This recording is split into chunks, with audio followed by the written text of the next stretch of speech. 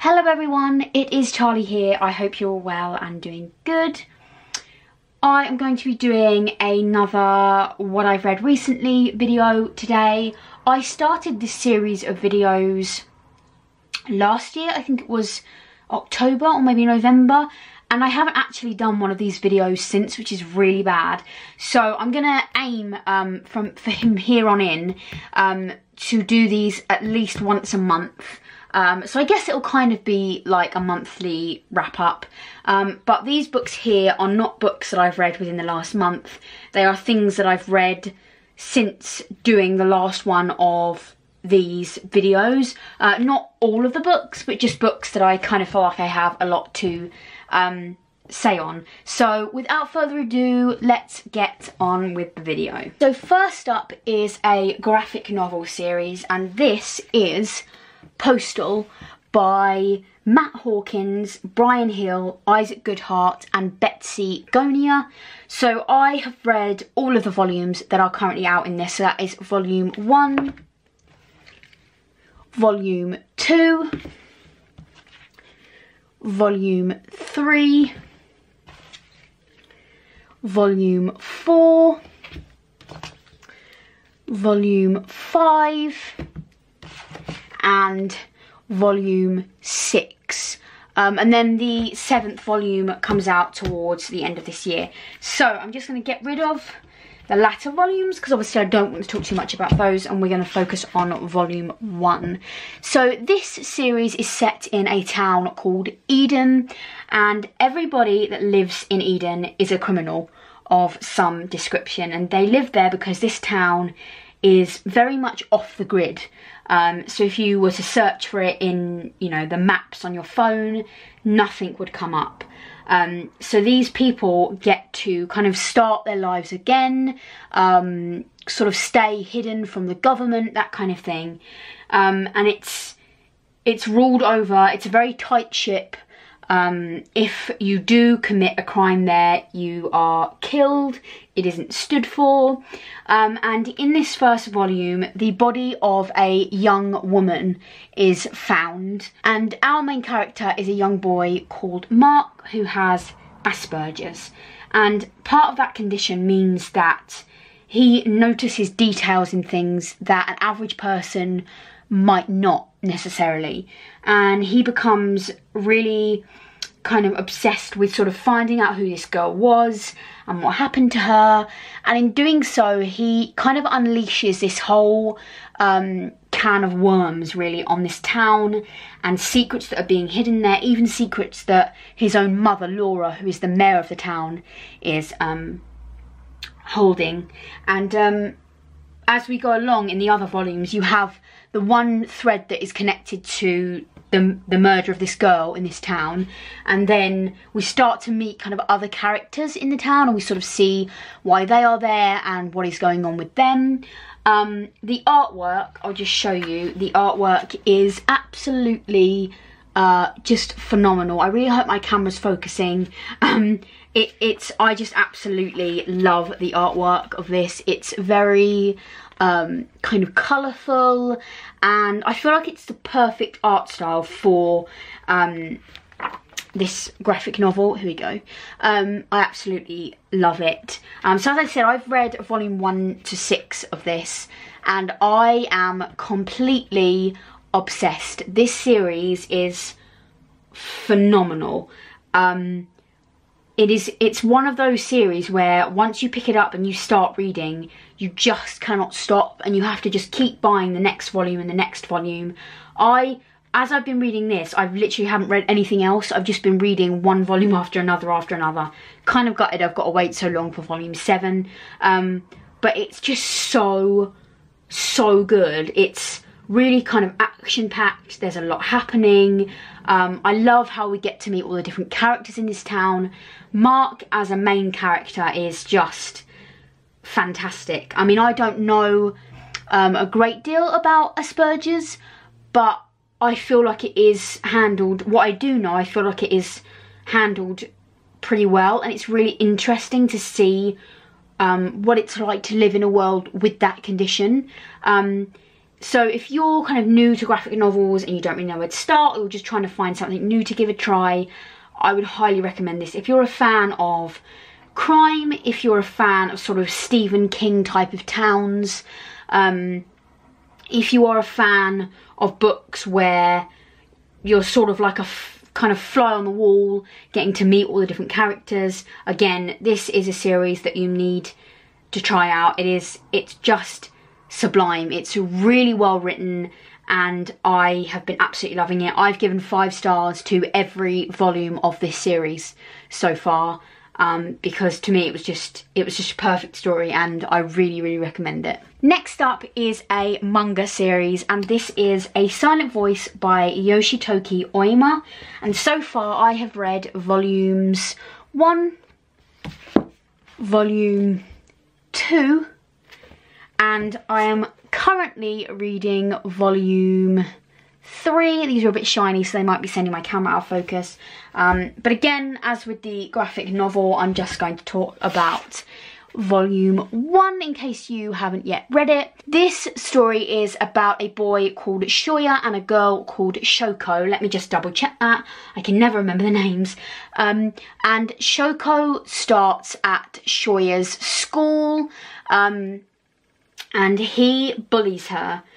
And he bullies her so so badly to the point where she has to leave the school. And when she leaves the school he becomes he kind of becomes the target then.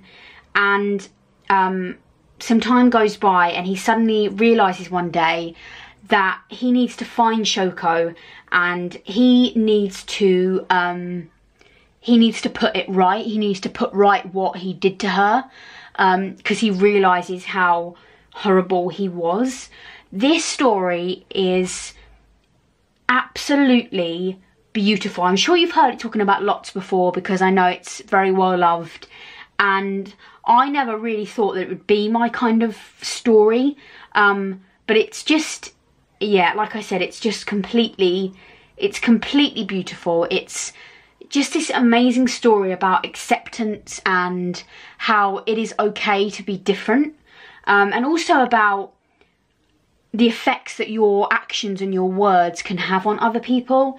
It is just so well done. Um, the the artwork is really, really, really amazing and I have been completely flying through this. I believe there is seven volumes. Um, I'm actually gonna um, go and buy volume four tomorrow, I think, um, so I can go straight into it. It's just a really, really, really great, great series, and I'm very much looking forward to continuing on with it. Um, so far, the two volumes that I have read, I have given five stars to. Um, I can certainly see where all the hype comes from with this series. Um, so that is A Silent Voice. Next up is Goodbye Perfect by Sara Barnard. And this is a YA contemporary and it's about two best friends called Eden and Bonnie. And um, they've been best friends for a really long time and um, Eden has always thought that there was no kind of secrets between them. Um, but one day Bonnie runs away with their teacher and um, Eden didn't know anything about it, but automatically, because they're such close friends, Eden sort of becomes under suspicion of everybody. Like Bonnie's parents and the police, they all think that she must have known that this was going on, and it kind of leads her to question their friendship. But then Bonnie starts to um, contact her and sort of tell her where she is and what's going on. But Eden promises to keep that secret but then she sort of thinks, why should I keep this a secret when somebody who's supposed to be my best friend couldn't tell me anyway? And it's about her trying to find her best friend and also sort of um, realizing that she didn't really know her as well as she thought she did. Um, this I, I read this in one day. I I couldn't put it down. It was it was really kind of fast and easy to get through. Um, I gave it four stars on Goodreads. Um, on reflection, I think it was probably more of a 3.5 stars. Um, just because even though it was really good and I thought Eden as a main character um, was fantastic and I loved finding out her backstory because um, she'd been adopted and that kind of stuff. Um, but I just didn't think it was anything particularly original. Um, I felt like it sort of dragged a little bit in the middle and then the end was kind of, it sort of was very quickly over. Um, so it was a bit of an anticlimax. But if you're looking for just kind of a bit more of a fast-paced um, light sort of read, then I would definitely recommend checking it out. It's a solid contemporary and I did enjoy it. Um, like I said, I read it within one day um, and often I don't do that with contemporaries. You guys know that's not my favourite genre. So that definitely says something about, you know, how good it was. So that is Goodbye Perfect by Sara Barnard. Next up is a, another contemporary and this is Second Best Friend by Non Pratt. If you've been uh, around my channel for a long time, you will know that despite the fact that I don't like contemporary books really, Non Pratt is my favourite author. She is kind of auto-buy for me. Um, her books are just always fantastic. I'm always easily gripped into them.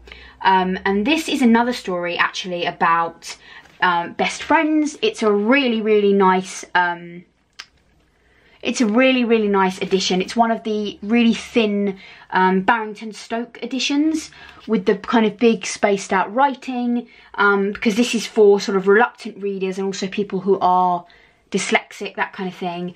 And Non has brought out two books in this series so far.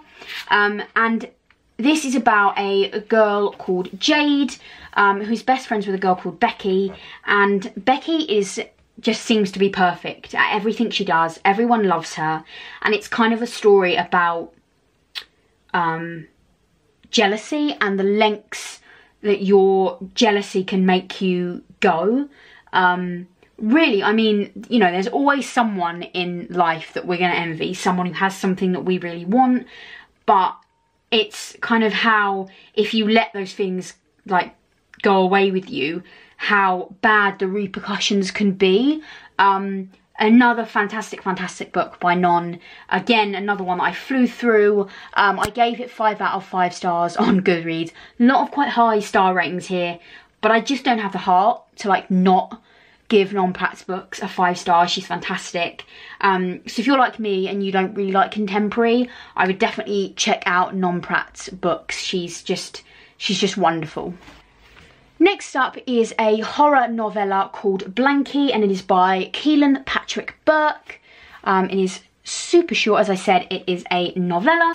And this is about a guy called Stephen whose um, baby daughter Robin um, has died. Uh, it says it's like three months.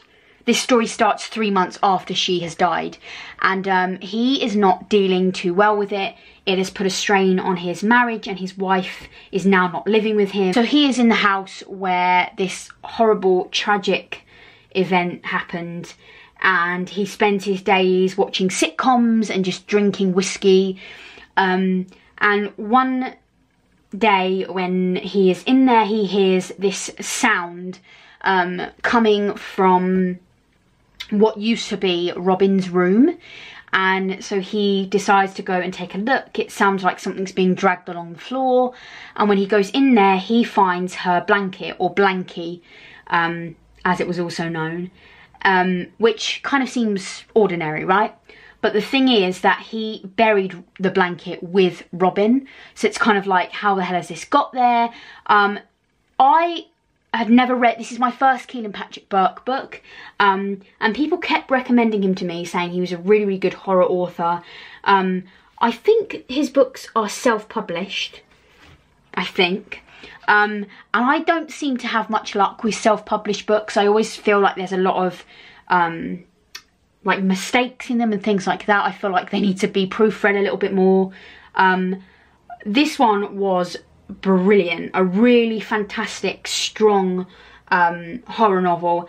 And I, since reading this, I, I enjoyed this so much that I've picked up another one of his books, which I think is called Hard Candy. Um, and I'm so excited to read it. I think if you are a fan of horror, um, obviously I can't speak for any of the others, but I would definitely recommend checking this out if you want like a short, sharp, creepy story. Um, and it was, it was really, really creepy, well written. I didn't really spot any mistakes um, through this book. And uh, yeah, I, I really, really enjoyed this one. I gave it four, what did I give it? 4.5 stars on Goodreads. Um, only because I wish it had been longer, but that's, I guess, not really a criticism. Um, but yeah, if you're a fan of horror, um, definitely check his books out. Next up is another horror novel, and this is Kill Creek by Scott Thomas. Um, I did speak about this in my last um, book haul but I wanted to speak about it again because as I said then if you saw that video um, this is one of the best horror novels that I have read uh, it was fantastic. Um, it's really well put together so it's got the little French flaps. Um, it's got deckled edges. It's got a really cool back as well. And this is about four um, horror authors who are invited to go and spend the night at um, one of the most one of the world's most notorious haunted houses. And we largely hear from our main character Sam who um, wrote a best-selling novel but now he does kind of horror lectures. And um, in like one of the first chapters um, we sort of listen in on one of his lectures and it's so good. There's so many references to horror films like the Texas Chainsaw Massacre, The Ring, The Grudge, like it's just fantastic and it was so interesting. It's all about like um, you know, the elements that go into writing horror novels and things like that. Um, as I said, this was absolutely fantastic. It really delivered the scares. Um, I really enjoyed how we sort of find out about the history of this house, um, about the guy who owned it, and how he was found dead one night and his wife was found hanging from the tree outside the house. Um, and then these two sisters, you can just see the figures up here. Um, they moved into the house and one of them was basically never seen again until she died and the other one was also found hanging from the same tree. And it was just so good. It was so so well written. And again if you're a fan of horror i think this is one that you need to have in your collection. Next up is another horror novel. I've been reading a lot of horror um, over this last last few months. Um, and this is Endless Night by Richard Laymon. I won't speak about this one too much because I have spoken about it before. Um, but this is about a girl called Judy who is staying over at her best friend Evelyn's house when a group of killers burst in and start trying to kill everyone that is in this house. This is just a typical um, slasher um, book. So if you're a fan of slasher horror movies and things like that, this will be one that you want to try out. Um, a little warning, it is extremely graphic. Um, there are some scenes that are really, really hard to read about, really hard. Um, there is rape. Um, the way these killers are dressed, I don't want to say too much, but the way they're dressed is very gruesome, very gory. So if you're not good with stuff like that, I wouldn't recommend it but it's one hell of a fast-paced book. So if you're looking for maybe something to get you out of a slump, uh, something to just sort of get your heart racing a little bit and um, just really sort of dig yourself into, um, then this is definitely the book to go for. And there's actually a little um, thing on the top here that says, if you've missed Le Laymon, you've missed a treat, and that's by Stephen King. And you know if Stephen King gives a good review, then it's it's going to be a good book. So those are some of the books that I have read um, lately. I hope you enjoyed this video. As always, let me know down below what books you have read recently and I will see you all very soon for another video.